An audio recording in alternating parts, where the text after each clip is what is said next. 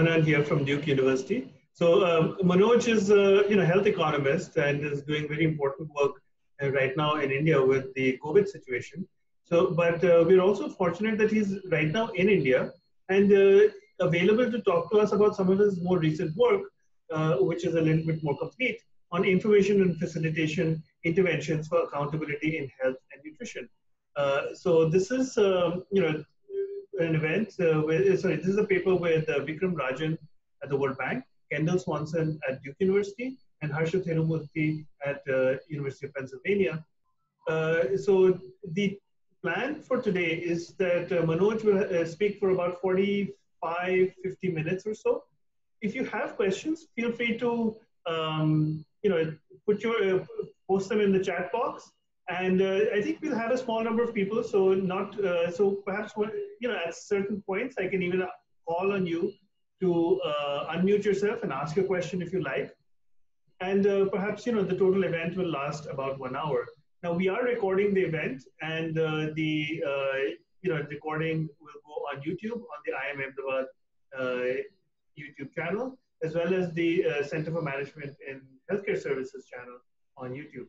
So without much more ado, Manoj, the floor is all yours. And so we'll go for about 40, 45 minutes. Thank you very much, Tarun. It's wonderful to join you guys here. And um, this is, uh, it, was, it turned out to be really good timing for me because like you said, I, I was uh, unable to leave from India when the COVID epidemic struck. So um, I'm, I'm glad I'm able to make the most of it and join you at the seminar. So fantastic. Um, so this, uh, this uh, paper describes findings from a research project that we had been doing, uh, as you know, field projects go on for a very long time. But this one had been going on for almost six, seven years um, we had been working with the UP government um, as part of a World Bank funded project. So Vikram was the task team leader and head of the project, and we uh, were trying to understand if we can use social accountability interventions to improve delivery of care. Um, and as I will tell you in a second, uh, the government was extremely keen to try and uh, learn from this experience, but also try to replicate and modify their state level programs uh, in response to these findings.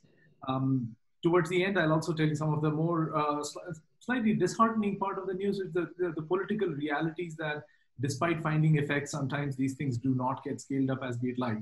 Um, and that's a very important point to keep in the back of our head as we, as we learn about these kinds of programs. Um, I know Tarun just announced that you know you might want to send comments and stuff. Um, if any of you are comfortable leaving your screens open and your sorry your video screens open and so I'm saying this very for very personal uh, benefit reasons that I get some feedback. Otherwise, it's almost like you're looking into a, a blank screen, with the exception of Tarun, then has to uh, take all that responsibility and pay attention. so, okay. Um, so here we are.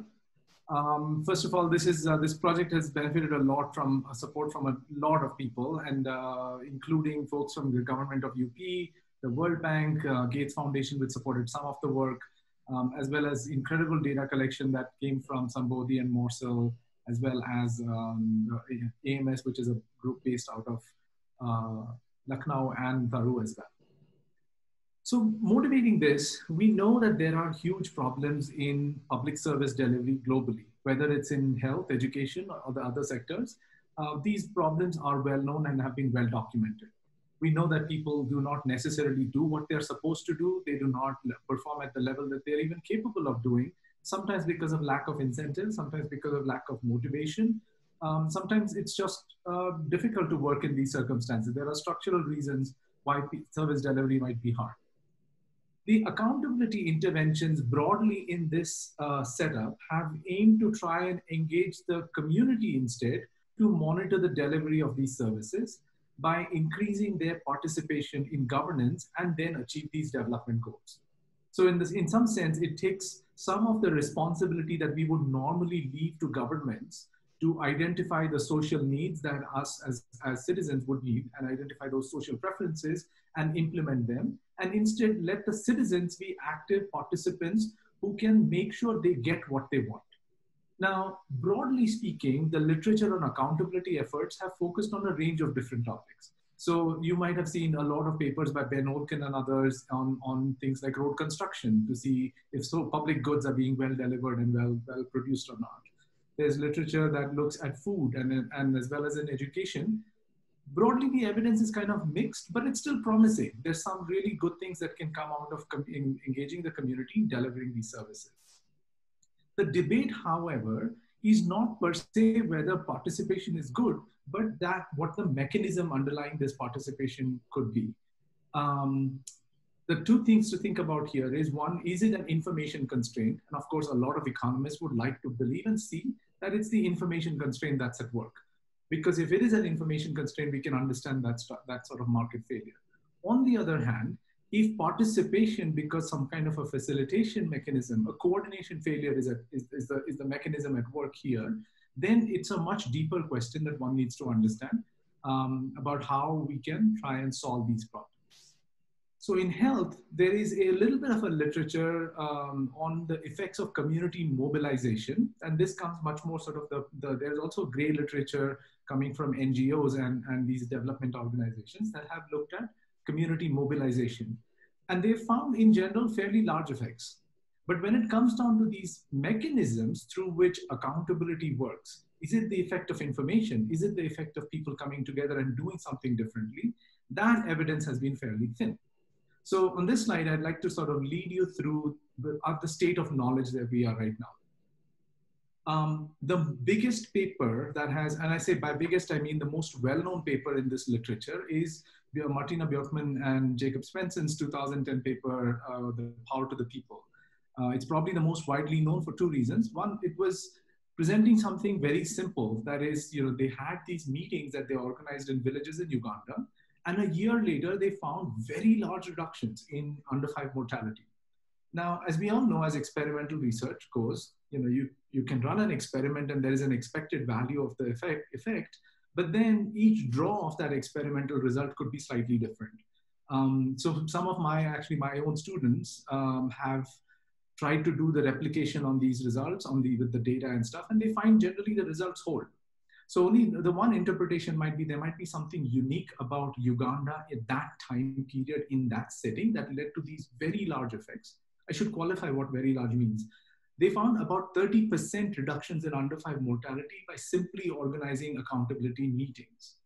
Right? And the meetings also gave information to households about the state of their uh, services that are being delivered, the state of the outcomes that these services were targeted at. Um, but these are very large effects in the follow-up research that uh, they did with, uh, in this case, they also brought Damien de Walque onto the team and they were trying to look up at the follow-up effects and they tried to see, can they tease out the mechanism?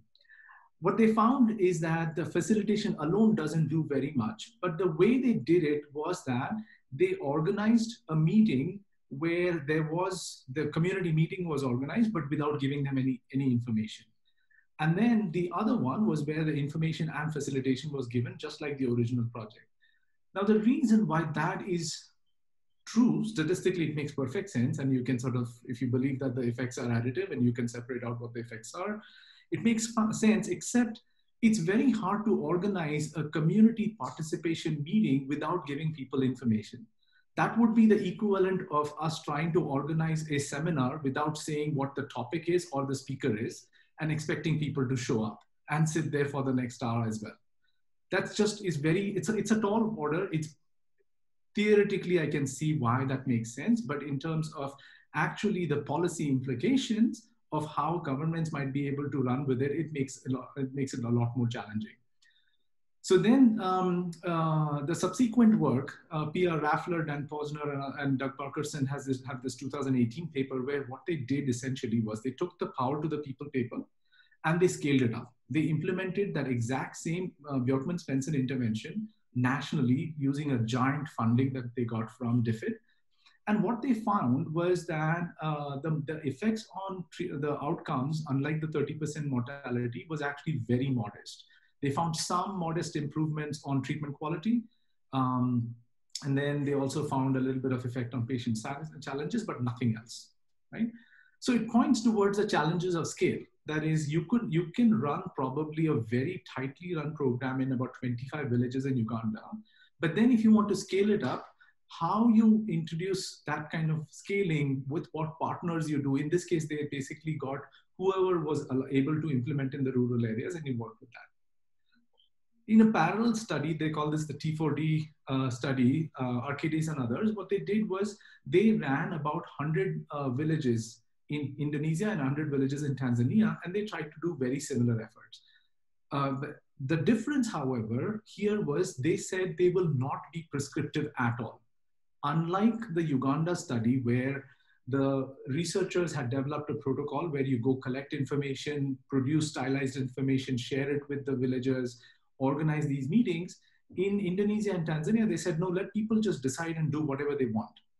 And so by letting community do the do whatever they needed to, in some sense, gave them the flexibility but it found no impact at all.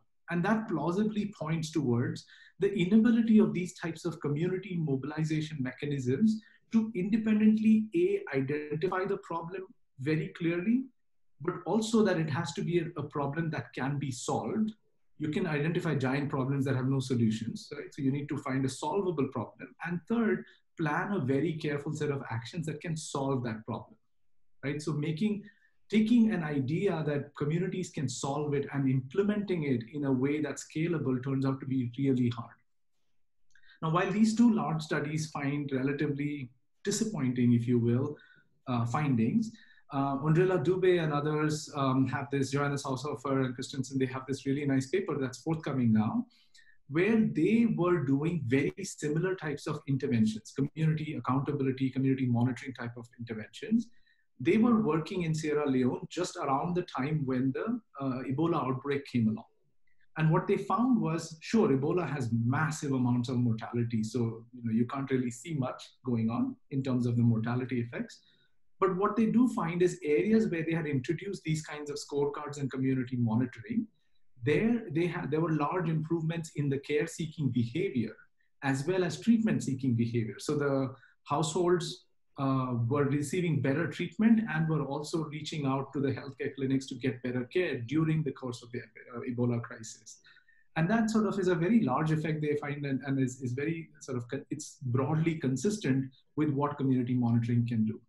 There are a few other uh, papers as well in progress. So this one with uh, Javier Gine and um, um, Khalid and Mansuri um, look at the effect of women's participation in Pakistan. And they find in general that the, the intermediate measures, if you will, ANC visits, PNC visits have gone up.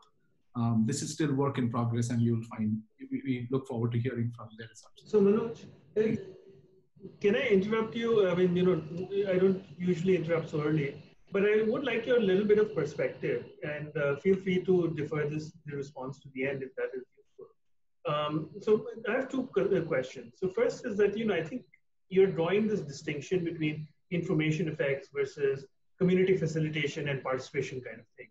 And as you rightly said, um, you know, it, it will almost make no sense for the two to be unbundled. Yeah. So apart from us as academics and people who are interested in really fine-tuning mechanisms, um, why would we want, you know, as a policy matter, want to unbundle and test the unbundled effects? I agree. So that is my first question. Okay. My second question is actually in some of these uh, about your perspective on some of these failed replications. I think uh, you know one concern with these replications is that uh, the replicator faces a challenge of trying to understand whether they should stay true to the original implementation and therefore not customize according to you know what the community wants.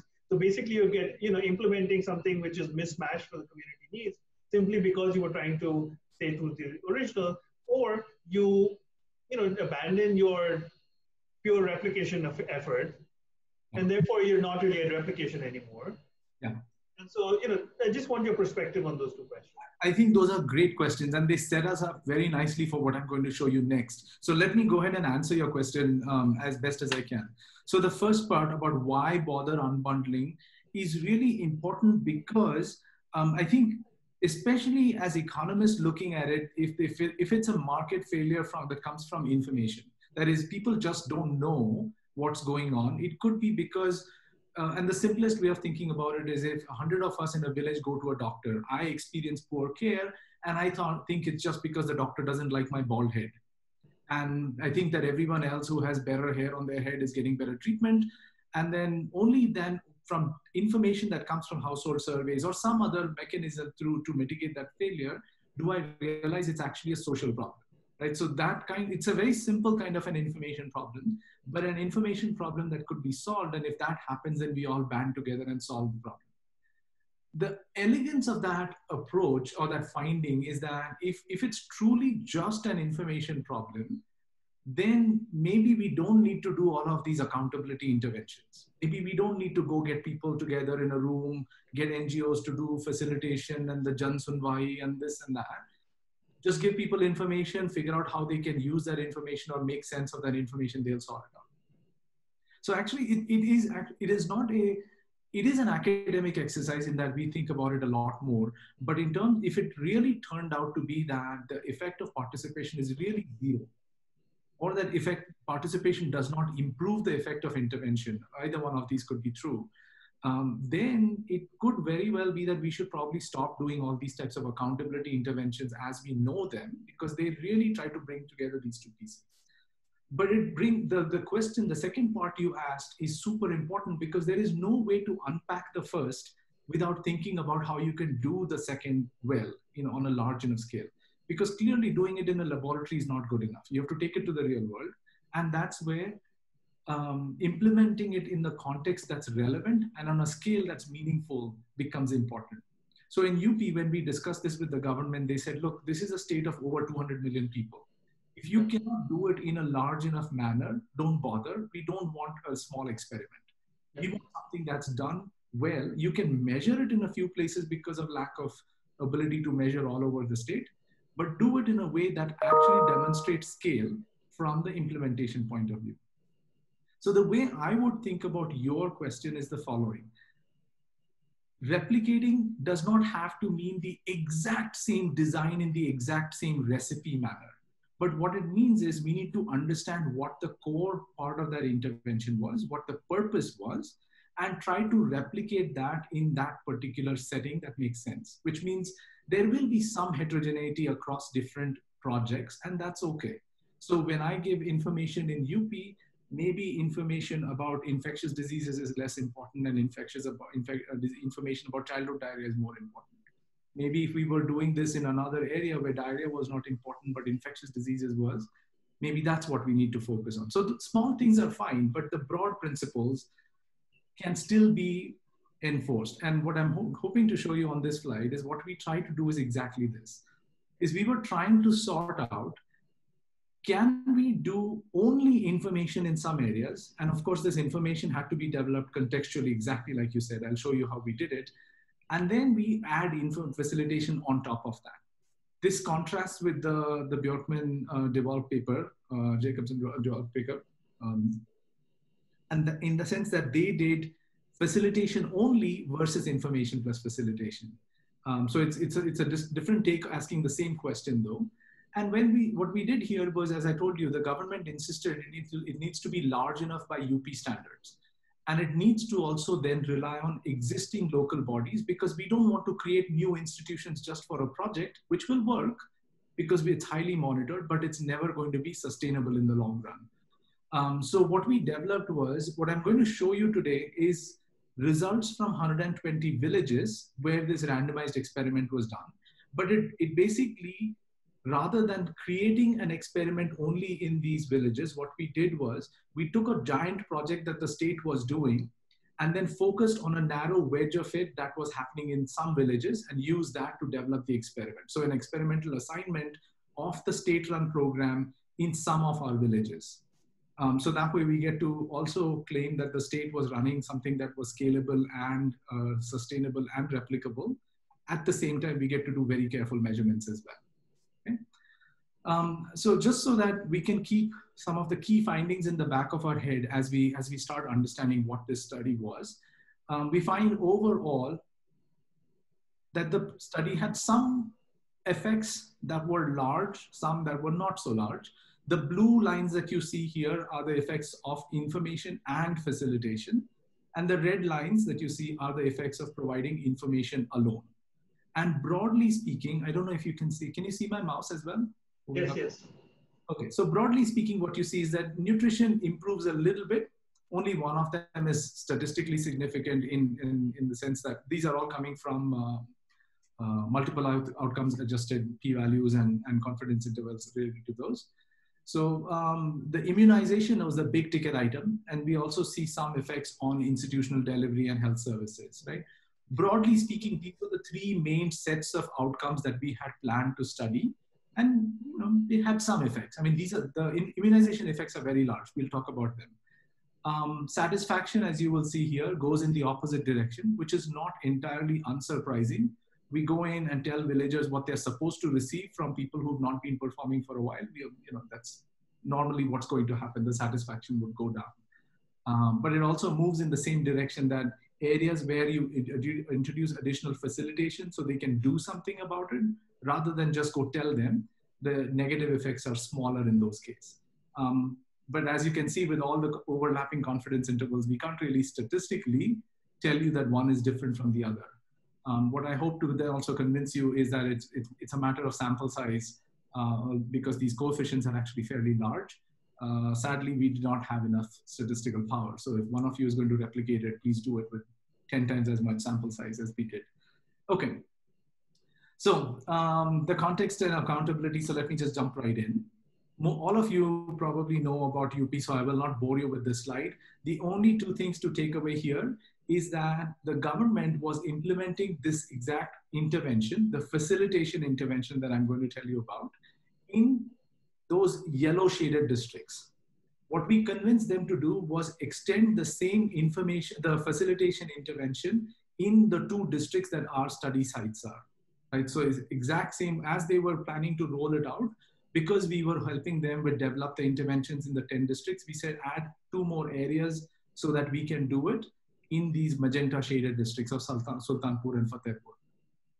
Um, what these guys were doing is this was part of a World Bank funded uh, government of UP project. They wanted to improve service delivery and health outcomes. And they were focusing on the, uh, the services that are delivered by the three frontline healthcare workers, the three A's, Asha, Anganwadi, ANMs and they wanted to work through something that the NHM had created almost a decade ago, but was vastly dis- unfunctional, which is the uh, Village Health Sanitation and Nutrition Committee. So the way it works is every time there's a Gram Panchayat election, the secretary, uh, the, the Pradhan and the secretary are supposed to constitute this committee, which includes the members of the local government, the ward members and stuff. They also include some of the frontline healthcare workers, including some of the ASHA, Anganwadi, uh, ANMs, and there's some flexibility they get some discretionary funds every year. They get 10,000 rupees. They are also eligible to request more funds if they need every year. And they have the statutory role that NHM gives them is to identify the needs of the village. If the village needs, you know, money to put chlorines over its drains, if the money, need, if they need money for some new stethoscopes or sphygmomanometers for their ANMs, they can ask for all of this, right? So in some sense, it's exactly what we want there is a government run organization that is supposed to do this exact same work of identifying health work, health needs, has some money, has the statutory responsibility and the legal authority to bring in more resources if needed. And then it's the government, it's the, it's the citizen participation that is supposed to hold them accountable. So that's what the government was trying to do in these 10 districts. Um, and once a month on the Village Health Nutrition Day, they were supposed to provide these services. So it's very clearly targeted towards primary care, immunization, ANC, and nutrition, which is why our main outcomes are targeted at these ones. So what SI, UPHSSP did, because we wanted to keep the scalable, replicable, and all of that stuff, um, what we did differently in this project is we did not want it to be run through a World Bank project because the kinds of reporting requirements and, and management there are different. Instead, the UPHSSP brought in the State Institute for Rural Development. As many of you know, number of our states in India have SIRDs, which are the state's apex human capital development firm. Their, their job is to train tens of thousands of people for all kinds of stuff. So they brought an SIRD and gave them a two-year contract to implement this project in 10 plus 2 districts, as I told you. And so they worked together to develop a suite of information tools, training materials, how they're going to train them, they recruited through their standard recruitment process, which means, as you can imagine, this is government contracting. There's been all kinds of delays, problems.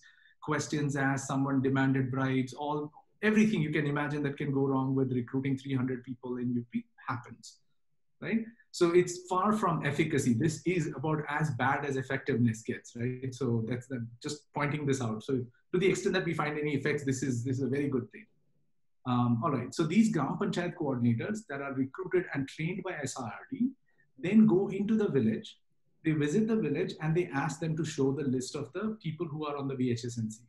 Usually, what happens is, let's say, if Chirantan, Tarun, and I are members of the VHSNC, and there is a Gram Panchayat Pradhan, the pradhan knows who are the people on the list, but neither none, of the three of us know even know that we are actually members of this committee because no one even knows the committee exists. So the GPC, the Gram Panchayat coordinator, then knocks on Tarun's door and says, "Hey Tarun, you happen to be a member of the VHSNC, and by the way, these are your roles and responsibilities." The government says you should be meeting every month and asking these following questions. By the way, next month on Tuesday, so and so date, we are going to be having our first meeting. I will help you convene that meeting. Please show up. Now you've activated and facilitated these VHSNCs.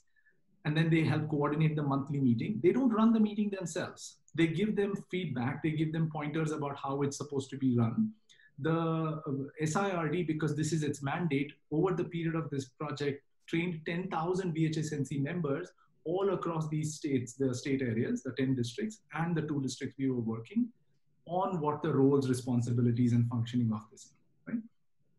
So this project started working in May of 2016. As you can see, in March, April, the only meetings that were happening were when we were going in to try and do some pilot runs. Um, we were working on this project since 2011 12. So it took us a few years into project development, contracting, and all of that. And once the project actually hit the ground in May, it, you can see the number of meetings went up. So if you look at the, the, this graph, it shows that by March of 2017, a year after the project started, UP was conducting roughly 2,000 meetings a month, which going from close to zero before the pilot run started um, is, is a significant achievement. Right now, whether these things actually led to something is what we want to understand. Um, just to reiterate, this is 2000 meetings that were happening all across the 10 districts, plus the two areas where we are talking about. That roughly covers a population of about 20 million people or so, 20, 21 million.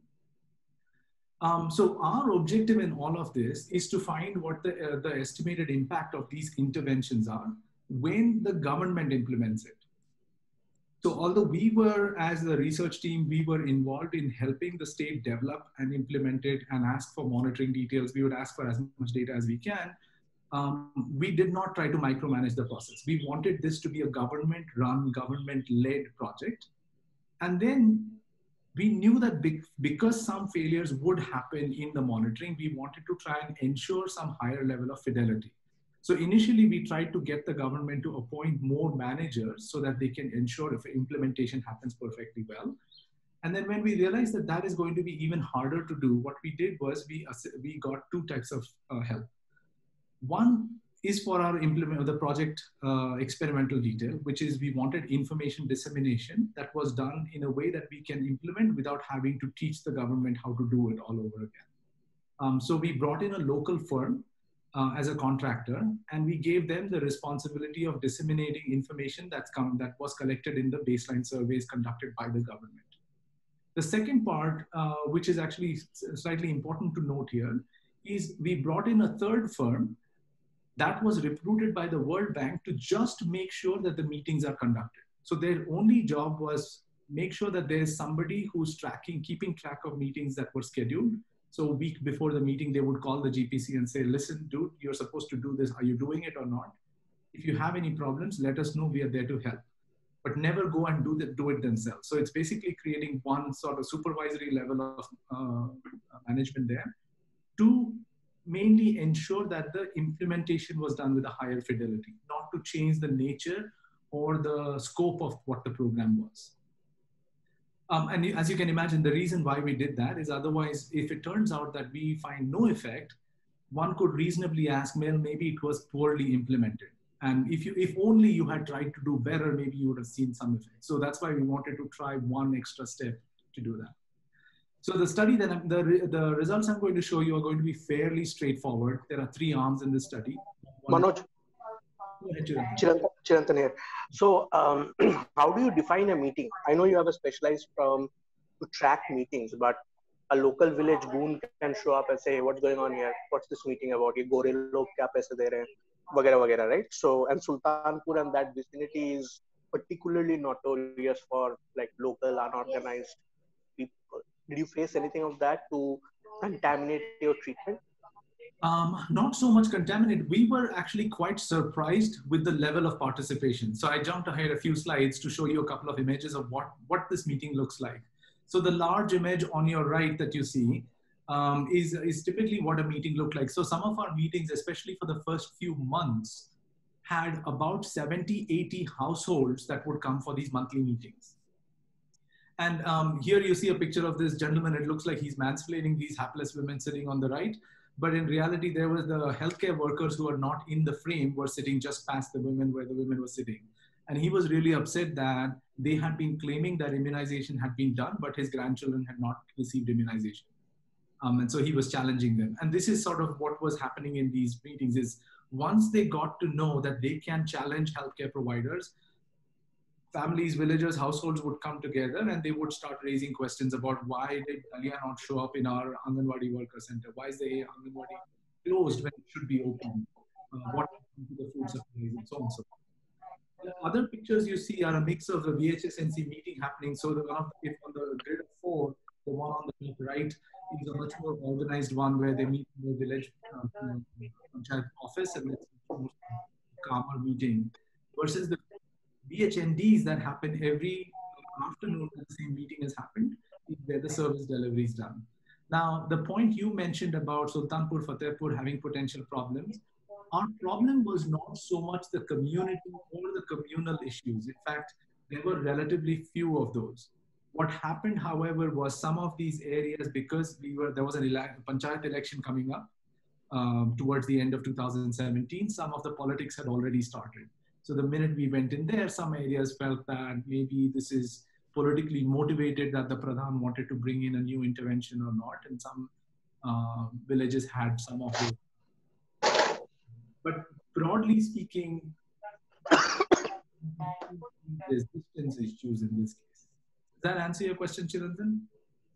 Yeah, perfect. Thanks. Thanks. Um, so as I told you, and I, I, don't need to belabor this point, this is just to remind each other, uh, us of what exactly was there. In the information only arm, we give information on village level indicators of uh, for children under five in the village and relative to the district average. We also tell them about the roles and responsibilities of the VHSNC. Most households have never heard about this. And we call them because we had lots of, uh, we collected all this information, we called them through phone calls and interactive voice response messages. We tell them that, look, Tuesday morning, three days from now, there's going to be a meeting. Please do come. You're welcome. You're invited. Your committee wants you to come, and so on and so forth. In the second arm, we give all of the same plus the info, the facilitation intervention that I described to you, where the, the GPC goes in and tries to activate the, um, the VHSNC. Okay, the, the analysis, because it comes from such a simple design, experimental design is also fairly straightforward. There are a few bells and whistles, not so much to uh, sort of make ourselves feel good, but there are serious problems here. Because one is that all our clustered errors, standard errors need to be clustered at the village level. That, that's the, the easy part. The harder part is the way we had developed, this study is we had developed, in, in developed it as a matched trio design. And the reason why we were worried was we actually took Chirantan's concern very seriously. Is one when we were developing it, if a handful of villages, because our sample size was fairly small and this was expensive to do, if a handful of villages decided they did not want to participate because of political intervention, then we would have been lost a lot of power and we wouldn't know what to do with that. So simultaneously, some other villages found out that look, there's this facilitation happening elsewhere. We need to do our own thing, or at the time, actually, there was another risk is that some of the other donors who were working in this space were trying to implement similar programs. So Me Too programs could come up in our intervention, non-intervention areas that could create a problem. So we developed a match trio uh, randomization where essentially we take the data from baseline and use a whole bunch of um, information. every possible verifiable, observable information about these villages, and then use a propensity score to create matched trio sets. And after, within each matched trio set, we then randomize them into treatment area one, two, three, um, treatment arms one, two, three. So, so in terms of the analysis, we just include trio fixed effects, which is basically an extension of what you would do with a matched pair randomization, except this is a trio. So it becomes a little bit more of a tricky thought experiment, but the, the empirics work fairly similarly.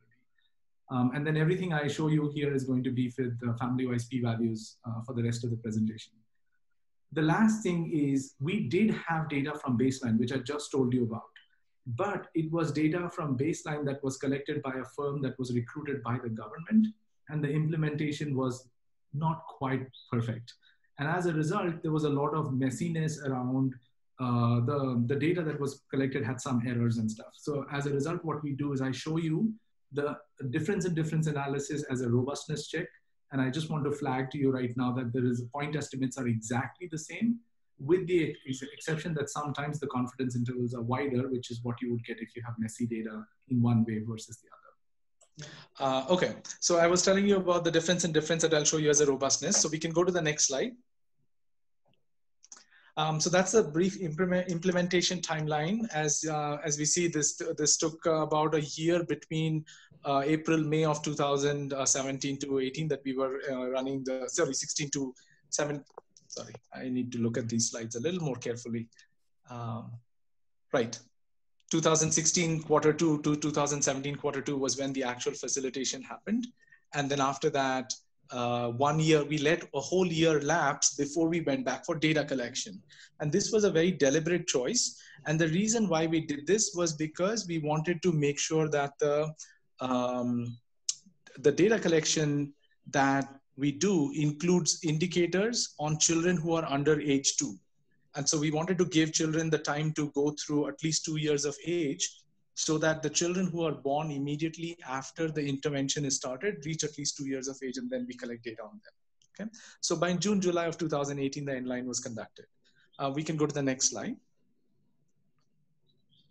Um, okay, so as I, this slide I already showed you, so we can skip over this one as well. Um, so before we show you the results on what we found, some uh, notes on the costs of these interventions is in order.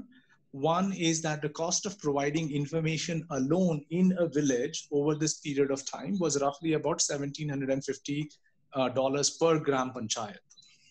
Um, and the reason why we did it per gram panchayat is that the meetings happen per GP level, but the data collection for this is randomly selected to be one village out of these GPs. Uh, and the G village doesn't know which one is going to be sampled for the data collection. Um, same thing for the cost of information plus facilitation was about uh, two, uh, 2,750, which basically tells us it costs another $1,000 roughly per GP to do uh, the kind of facilitation that the government had, uh, had uh, budgeted. And just to make sure we were being very careful and con conservative in our calculations, we included not just the cost of what the government was doing, but also the additional cost of the supporting facilitation type of things that we did with the World Bank, um, just to be sure that we cover all costs. Um, okay, so that's where we are. Okay, so as you see here, uh, the balance is almost guaranteed because as I told you, this was a match trio randomization. So there's no surprise here that the samples are matched. It's almost by construction. There's nothing to see here. Um, the only thing to remember is that the baseline numbers are smaller, which we'll come back to later. Right? Okay, so we have data that I'll be showing you from about 4,800 households. We have data on the key health indicators as well as a bunch of other household awareness responsibilities of uh, demographics and stuff like that. So our total analytical sample um, is 4,443 households because of some level of non-response, um, but includes data on 5,000, over 5,200 children that we get data on. So let's just jump right in. So these are the three main nutrition outcomes we are interested in. Uh, the stunting, underweight, and wasting. Stunting and underweight are basically indicators that we expect to see uh, more effects on. Wasting, for better, for actually for very good reasons, uh, is no longer that much of a common problem in India. So in our data, about half the children are either stunted or underweight, right? Because stunting is defined as height for weight, age, and we underweight is weight for age and then wasting is basically looking at your waste weight as a, as in response to your uh, height. So uh, the wasting levels are relatively low in India, which is a good good thing. But what that means is also that your uh, your chances of seeing some effects there are going to be smaller as well. Um, so these effects, as you see here, they are mostly not statistically significant, with the exception of the underweight for information and facilitation. This is significant in the uh, normal p-values without including family-wise uh, p-values. Once we put in family-wise p-values, these are no longer statistically significant, right? So everything here. Um, but before we just leave this slide and move on, I just want to point out to you that these are roughly three and a half to four, uh, three to four percent um, percentage points relative to about 50% uh, uh, of children who are uh, stunted or underweight. So it's a small effect, uh, but the only good news here is they are all going in the same direction. I, uh, the, the, standard errors are, however, too large for us to say that this is uh, statistically significant at conventional levels, especially with the multiple hypothesis testing. So then the second thing we said is, well, if, if our results don't find anything on nutrition, which was our first thing that we wanted to look because the program was supposed to improve delivery of nutrition, can we look at mortality? Because uh, the one big thing that, in, that's, that shows up in all of the previous literature is mortality. And the good and the bad news is that we don't find any effects on mortality under five. Um, for, from our point of view, that's the bad news. The good news is because um, we were also worried that there could be some bizarre re results happening because of which um, the result, the it could be because of simply reporting effects that the mortality might go up and then we might have a big problem on hand, but we don't see that yet. So that's, that's good. Um, but if mortality did not really change, but nutrition has changed a little bit, we needed to ask what could have gone on, what could be going on, even if these are not large significant effects. And so, as I mentioned to you, immunization was a big thing that was happening during these VHNDs. And when we look at immunization, this is where a lot of the action is going on. So full vaccination, I show, I'm showing you five columns here. Full vaccination basically means the child has received full DPT, full polio, measles, and BCG by the time they are two years of age, right?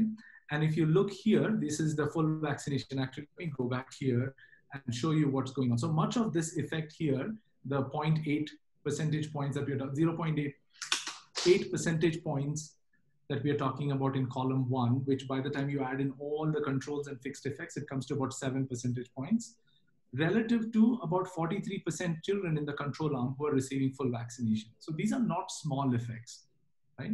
Um, same thing for full DPT, it's relative to 73, 74% of children in the, in the control arm receiving full DPT um, going up by 11 to 12 percentage points. Those are fairly significant effects.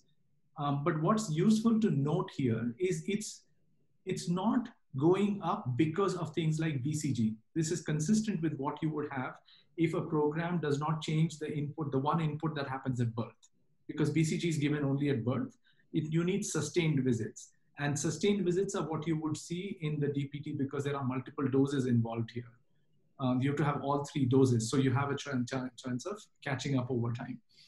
Um, so if you look at the full vaccination result here, the info plus facilitation, which is really where, uh, as Tarun pointed out, you know, you would expect that these are necessary inputs. If you don't think that they're substitutes somehow, and they're both complements that go into production of, of the participation or monitoring, then this is a 30% increase relative to the 43%. The 7% increase here in vaccination from information only, again, it's 7% relative to 43 is fairly large. It's only too bad that our standard errors here are 0.44, 0.044, so we are not able to find any statistical significance there. Um, and okay, sorry. I don't know why I had so many of those. So then I also want to draw your attention to uh, an additional set of analyses that we did um, I'm showing this to you only as an example and also to seek feedback. So in one round of our referee reports that we received, um, one of the reviewers really pushed hard saying, look, this is not the right way to analyze this entire experiment. And the way, the, the point that the reviewer uh, made, and I, and we struggled very hard with this actually, we are not convinced this is the right way to do it, is the reviewer's point was both of these arms include information. So the way to do it is to say, what's the pooled effect of information alone, which probably might or might not be exactly what we see here on these point estimates. And then the marginal effect of providing information or facilitation in that sense. So you have the pooled analysis of just information, everybody who got information, and then the marginal effect of getting facilitation. Statistically, I mean, obviously from, from, a, from a math point of view, you get exactly the same result. But I think given how the project was developed and implemented, we like our more our presentation of how we've shown it to you so far versus the this is what the the alternate way of showing the pooled analysis would be. As you can see if i may interrupt you. So in, in the original way in which you uh, showed the result uh, i think one question would be that what does the coefficient represent the difference from right? And i think the say for example the information only in column 5 0.088 represents the difference between information only and no intervention. Exactly. And information plus facilitation shows the impact of the combination compared to no intervention. Exactly. And so we'd be curious to know what's the impact of facilitation plus information minus the information only treatment. Yeah. So is the 0.134 statistically different from 0.088? Right and I think that's exactly what the uh, referee's point as well was, which is, I, I apologize that I copy pasted this in a rush. Um, the, the label here should say the marginal effect of information, of facilitation, sorry. So this is exactly what you were asking is in some sense, um, the 0.87 is the effect of information relative to control, getting nothing at all. And the 0.46, which is this second uh, coefficient down here, is the effect of getting facilitation over and above the intervention. So now it's being compared to the first column, the first row here. Right? But it makes sense. The, the 0.134 is just a sum of 0.87 plus 0.46. It's mathematically exactly the same. It's a matter of representation. Um, the reason I keep, and I, I, would love to get feedback and, and thoughts about this is I'm not comfortable describing it as 0.56 as the marginal effect of facilitation because that's not what we did.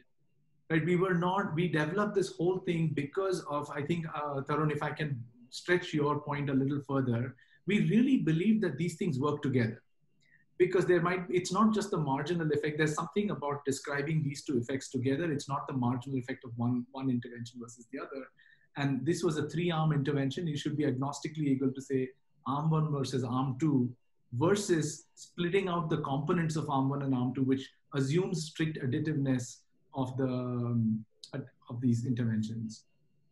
Um, we, we can talk more about this, and I, I, I know there is no straightforward answer, but um, let, let's just go through. I'll show you all the results I show you are from the main specification because that's one we are still in love with. Um, but I'm, I, have, I have to take the comments very seriously, so that's where I'd love to get your feedback. Okay.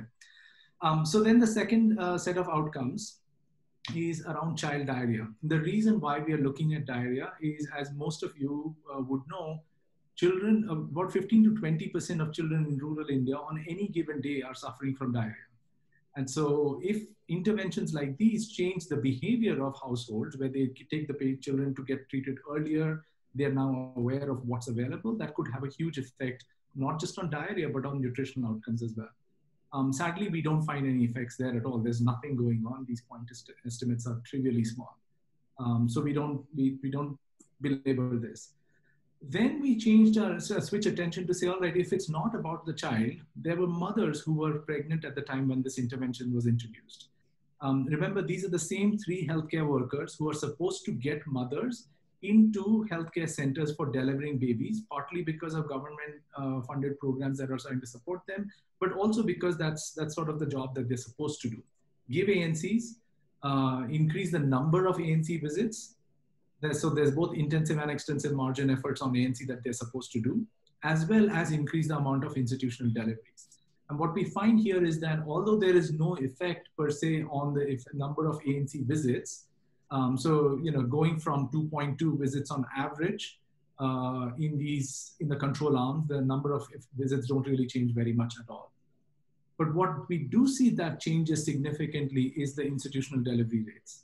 So, and this is quite surprising because it starts from 80%, which, you know, most of India right now is the institutional delivery rates are north of 80s. So that's, That's in some sense good, but they were able to accomplish roughly about a 10% improvement, about less than 10, uh, 6.8 percentage points in info plus facilitation and 6.5 in the info only. So fairly comparable increases in both types of treatments uh, in the institutional delivery arms alone. Um, right. So uh, with, was there a comment, Tarun? No, go ahead. Um, so with that, we then shift our goals and look at the satisfaction, which was one of the last pre-specified outcomes that we had promised to look at. Reason why we were interested in satisfaction is the hypothesis was that maybe if we gave information alone, it would obviously have an effect of uh, reducing satisfaction because now people would know something basic like, oh, wait a minute, the uh, ANM worker is supposed to have treatments for your primary care. That's, that is something she's supposed to have and be able to provide. And that they're supposed to show up X number of times and they don't. Um, the information plus facilitation, the theory of change that was hypothesized when we developed the project was that we give this information then the then as you saw that gentleman in that slide was supposed to challenge healthcare workers their service delivery was supposed to improve and then the satisfaction was supposed to come trail behind so we had originally hoped that the difference between the information and info plus facilitation was going to be large with info being alone being negative and hopefully info plus facilitation moving into the positive space um, we don't see that kind of a movement although there is at least some movement in the right direction, it's not statistically significant. So if I had shown you this exact same slide uh, in that alternate specification of the pooled analysis, then you would see that and say, look, there's not much going else there. Um, yeah, so that, that's basically the story here is that the satisfaction, if anything, we managed to make the villagers uh, even less satisfied than they were to start with. Um, okay, then what we find here is uh, when we were looking at our data, and this is an incidental finding, so I want to be very clear about this, is that this is not something that we had hypothesized or even sort of anticipated. We found that the number of births in our treatment arms, regardless of which type of treatment arm, was significantly lower in the last year compared to the other ones, the control arm and it was not a small number. This was a fairly large effect, and so we said, said we should, you know, this we cannot just ignore this. We need to understand what's going on. So um, essentially, when you're looking at any birth in the past one year, uh, what we find is that relative to 35% of households in the control villages that had at least one birth in the past year, the uh, percentage of households that had birth went down by at least five percentage points in the info plus facilitation and almost five percentage points in the others, um, which is a very large reduction in births. If this is, I won't use the word, uh, word birth rates uh, or fertility because they have very specific meanings in both in demography uh, in particular. So I won't, I'll, I'll refrain from using those terms. But in terms of the number of households that had births in the past one year, it's actually significant be lower. Um, so one hypothesis then was, well, maybe children are dying. Maybe what's happening is that in the treatment areas, bizarrely, children are dying conditional on being born. We don't see any effects of uh, evidence of that either. And so then we said, well, maybe you know, can we can we at least run some back of the envelope calculations to say, you know, if this was being drawn, uh, being uh, driven by some bizarre data collection problems, so my first fear when this happened was that maybe our, our guys did something wrong in the field and uh, maybe they collected, I think we are almost out of time. I'm going to jump through. So we tried to do falsifications and nothing was there. And then I'll just show you the falsification install. Um, sorry about that. I, I lost time. No worries, no worries. Yeah. Okay. I promised you difference in difference. This is the easiest way to look at it. The point estimates on your left are exactly what I showed you from the, um, uh, what do you call it? From the reduction in stunting, underweight, and nutrition. The red ones are what you saw in the, in the tables earlier, and the blue ones are the results from the difference in difference specification, right? So that includes the baseline. And as I told you, because our sample size at baseline is half as much and is noisier, we expect it to have a larger confidence interval. So at least the, it's, a, it's an unbiased estimate. It's just more noisy in this case. Same thing for childhood immunization. If anything, our DD estimates look a little nicer on the uh, immunization. Treatment diarrhea, institutional delivery, the same thing as well. Um, I'll show you one other finding which I think is worth noting and I'll stop. uh, we looked at heterogeneity by gender and caste.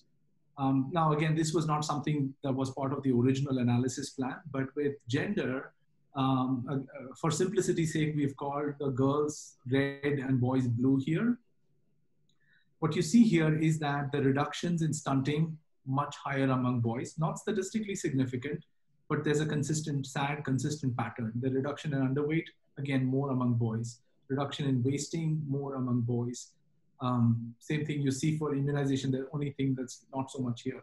The only one result that's statistically significant in all of this, and we do uh, use the family-wise adjusted p-values when we test for this, is this one.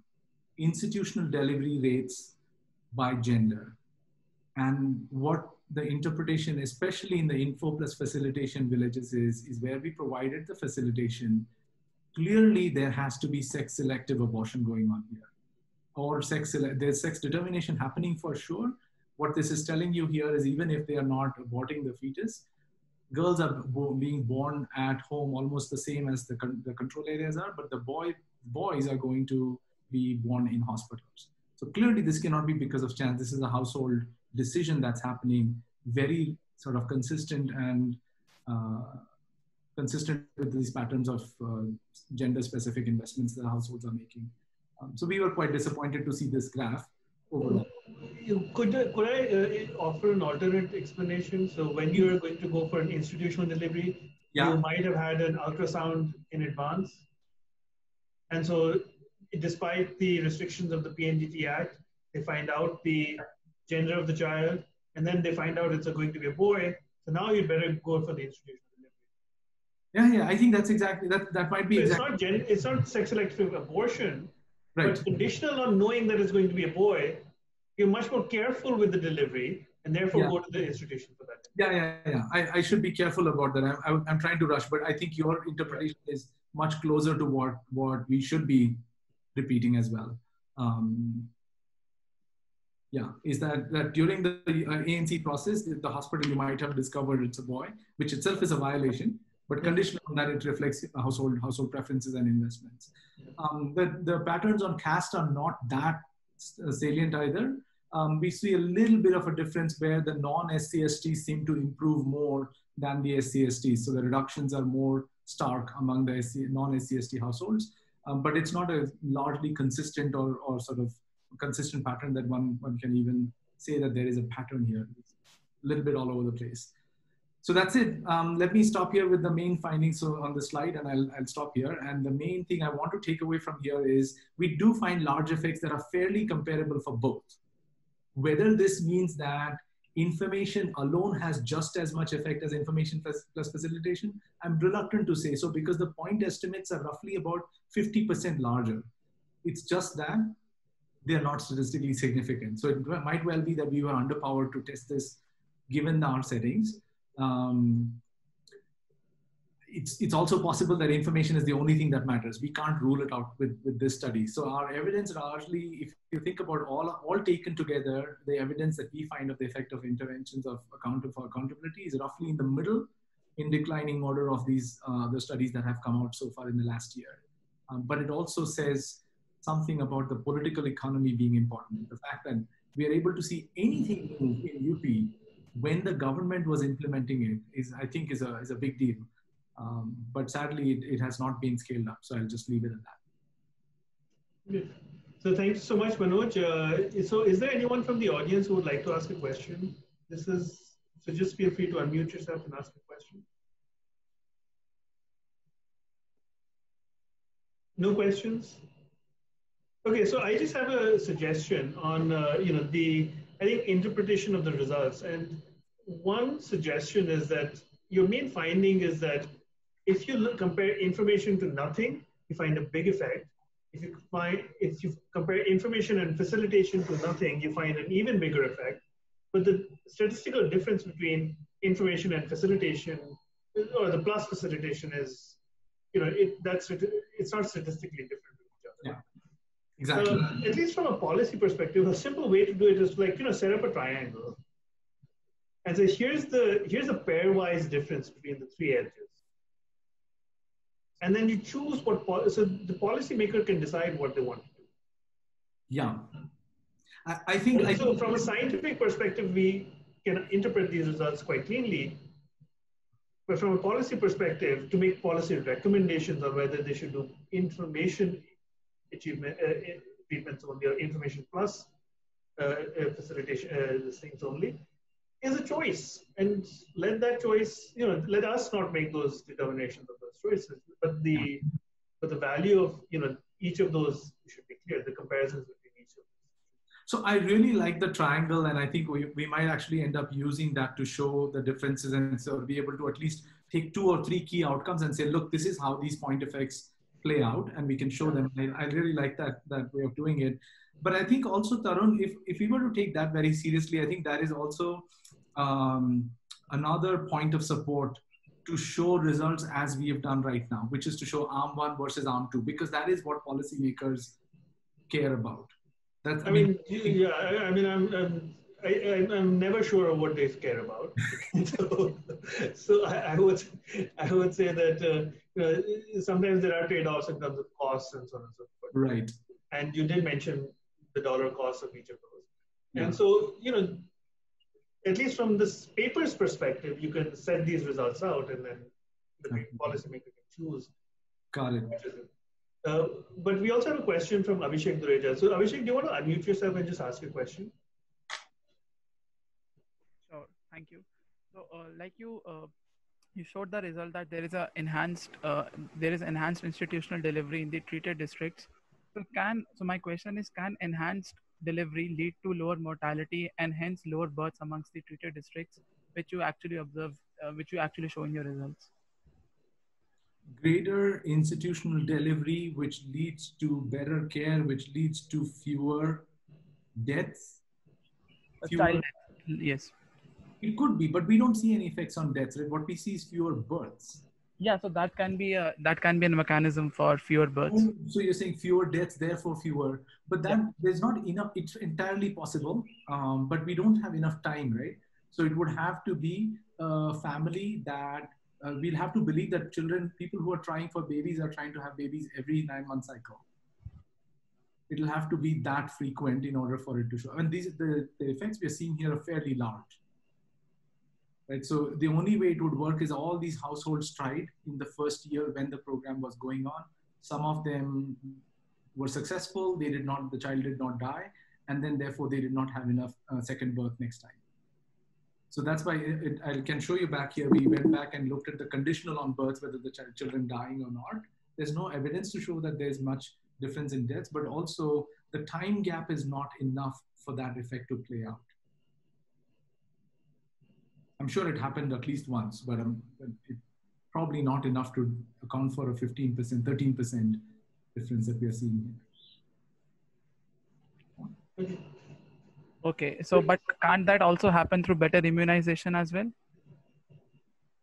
Fewer births? Yep.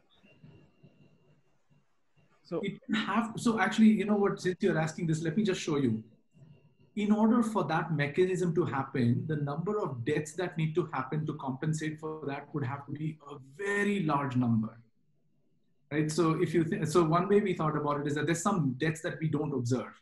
And those deaths either because someone is underreporting it, like because we asked the household, did somebody die? And they've clearly not told us, or maybe it didn't happen. Let's say it is that that somebody didn't that children died and they did not report, or it's that you know, immunization improved, so children who should have died did not die. It's, it doesn't matter which way we look at it. The point is the number of children have to be large enough. If you think about it as missing data problem, and which is the way we looked at it, but we can also try to think of it as an imputed way of immunization saving births. Therefore, some deaths that would have happened didn't happen. It would have to be very large in order to make up for that. Okay, thank you. Um, I mean, we can run through the numbers in, in, in detail, but the point is that the immunization saves lives, but it's not of this order of magnitude because it's not going from zero to nothing, right? All we are saying is that children who got immunized now finish their second full round of immunization. It's not, it's not the first, it's not an extensive margin response that we're thinking about here. All right. So great. Uh, so if there are no other questions, so I'd just like to thank uh, Manoj for a you know fascinating talk. I think this is the edge on which so much uh, health policy is being decided and debated. And so you know this is absolutely fascinating work, and uh, hopefully you know Manoj, this would be the point at which uh, of this talk where uh, we go out at least for a Gujarati meal or coffee and tea and all that stuff. But your trip to Ahmedabad is long standing I know. and hopefully, uh, you know, if not 2020, but by 2021, we'll get you here. And uh, believe it or not, we tried to come here in the middle of all of this. Yeah. Uh, was talking to the government to see if we can do something with them, but um, yeah, we'll see. Yeah. All right, sounds good. All right. Thank you very much. It was great talking to all of you. Have a great evening and stay safe. Thank you so much, Manoj. Bye bye.